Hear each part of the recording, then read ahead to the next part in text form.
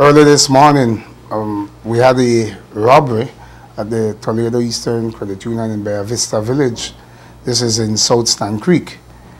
The quick police response led to the apprehension of four persons and recovery of almost all the money that was stolen from this credit union. When I Do called a little while ago, they were counting the cash.